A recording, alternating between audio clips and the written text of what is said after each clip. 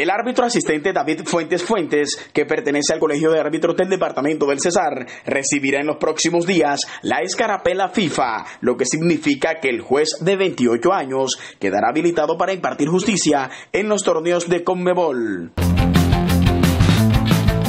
La noticia no ha sido oficializada por la Federación Colombiana de Fútbol pero el analista arbitral José Borda escribió en su cuenta de Twitter que será un hecho que Fuentes, junto al central Carlos Ortega, fueron inscritos para ser árbitro FIFA en 2021.